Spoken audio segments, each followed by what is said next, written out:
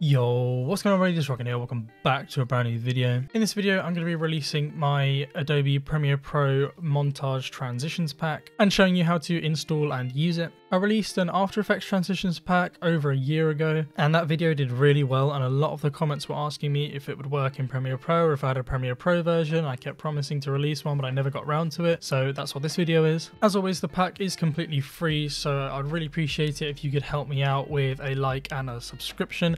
I've noticed a lot of you guys watch my videos but you're not actually subscribed, so if that is you and you're not subscribed, scroll down, hit the subscribe button, hit the like button while you're down there, as well as check out my Patreon for exclusive Discord roles, early access to videos, project files and other exclusive content, and follow me on all my other social media, links will all be down in the description. So let's get into it. To download the presets, you're going to want to head down to the description, there'll be a Google Drive link there which will open up to a page just like this. You'll see Rocklan's Montage Transition Pack. It might have opened up like this, don't worry, that's normal. That's how the presets come. It's basically just a Premiere Pro data sheet telling Premiere Pro exactly what effects to use, what keyframes to use, and where they should go. So you're going to want to do is come up to the top right corner and you'll see the download button. So just hit download. You see it's going to scan for viruses and it's going to download. And then you're just going to want to open up Premiere Pro. You can see I've already started a project and I've imported a couple clips. To import the presets so you can use them, all you're going to want to do is come over to the right hand side under the Effects tab. I am in the Effects layout. If you're in the editing workspace, make sure you come over to Effects and you'll see the Effects panel over here. You should have a presets folder just like this and you're going to want to right click on it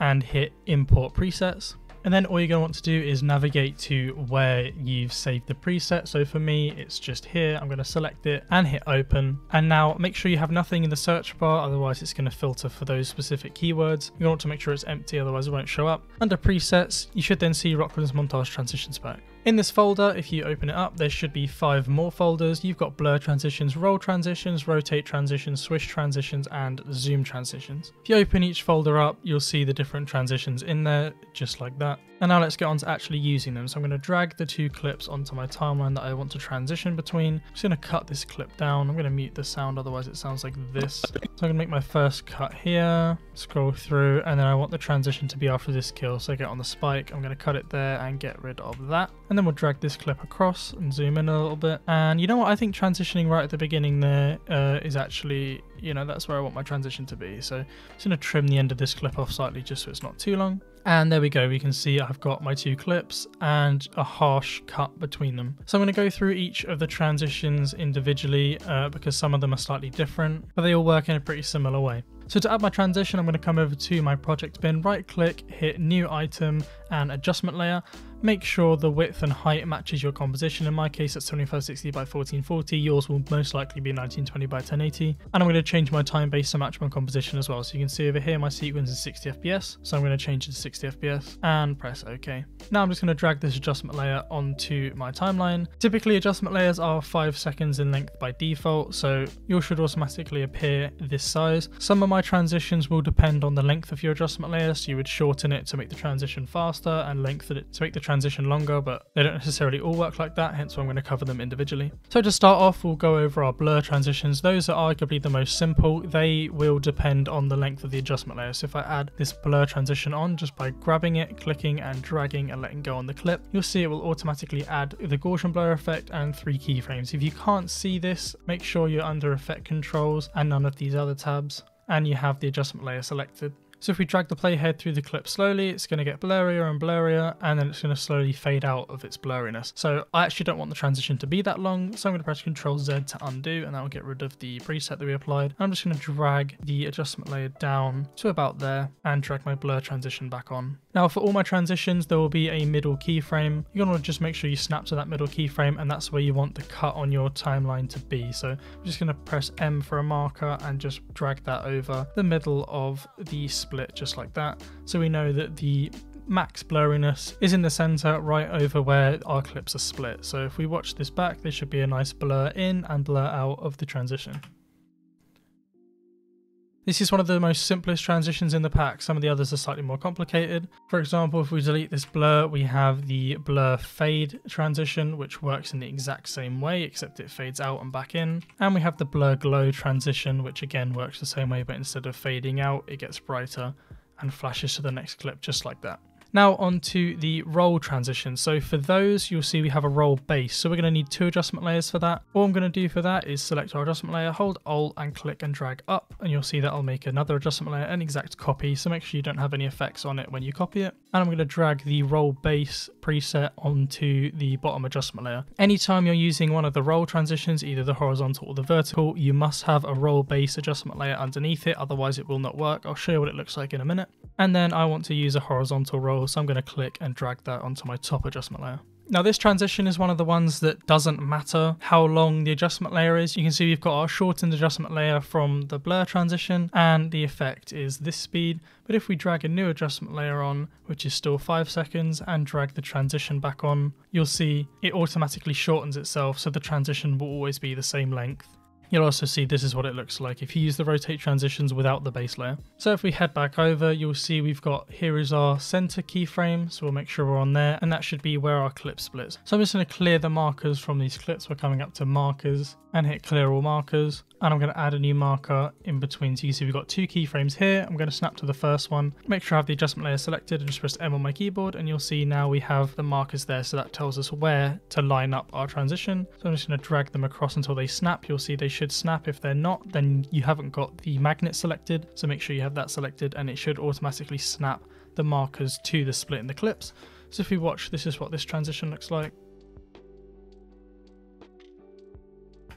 And there you go, that is the horizontal roll transition. And now we're on to the rotate transitions. They work pretty much the same way as the roll transitions in the way that they need a base. The rotate base and roll base is actually different, so you can't use them interchangeably, unfortunately. But you're gonna have to do the same thing in duplicating this adjustment layer. So I've just added a fresh one back on. I'm gonna hold Alt and drag up to duplicate it. And I'm gonna drag the rotate base onto the bottom clip. And I want to use rotate clockwise, so I'm gonna drag and drop that onto the top adjustment layer. And as you can see, again, this is one of the ones that is going to keep the same scale and it doesn't matter how long the adjustment layer is. You can see all this adjustment layer here is not doing any transition. It's only going to be right at the beginning. You'll see here's the spin transition right at the beginning of the adjustment layer.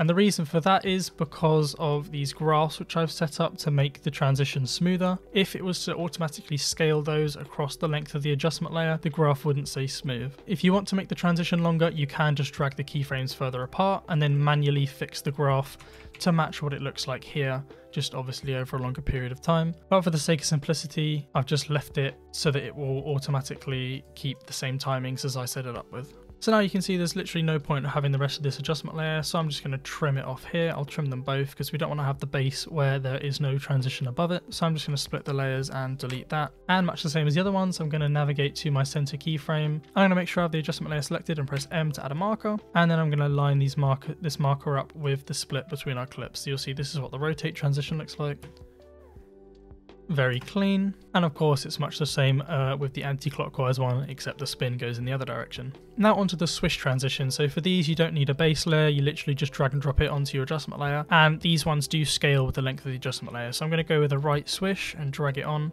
And you'll see if I play this, the swish is going to last the entire duration of the adjustment layer.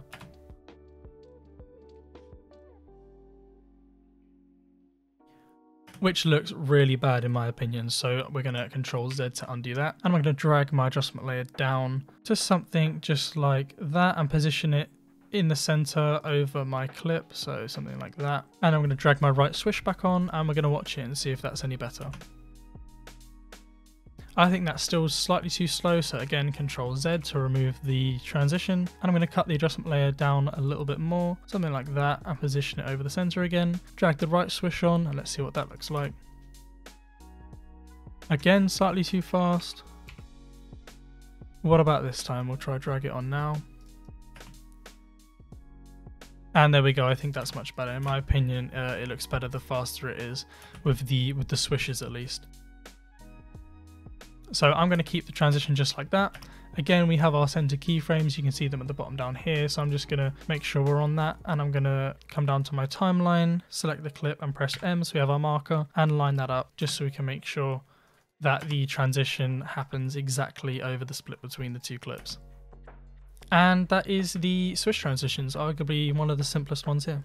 And finally onto the zoom transitions. Now these ones again will not scale with the length of the adjustment layer, so if we drag it on, you'll see the keyframes stay over here, and it's for much the same reason that it's using the graphs again. So these graphs, like I said before, if you drag them out, they start to do weird and wonderful things like this. So I'm going to leave them as they're intended, and we're just going to trim down our adjustment layer to where the transition finishes. So after the last few keyframes, cut the adjustment layer and delete it. And now I'm going to head to the center keyframe, which you can see is these, or these three in a line. Come down to my adjustment layer, press M to add a marker, center it over my two clips, and it should work just like that. As you can see, the it zooms in, flashes, and it reveals the next clip. Again, super duper simple. And that's pretty much it for my gaming montage Premiere Pro transitions pack. If you guys liked the pack, enjoyed the video, or found this tutorial useful, make sure you subscribe and like the video, as well as leave a comment with any other tutorial suggestions that you would like to see from me in the future. Check out my Patreon, as well as follow me on all my other social media, links will be down in the description. Also, make sure you check out my channel for loads of other gaming montage editing related tutorials. But other than that, thanks for watching the video, and I'll catch you in the next one. Música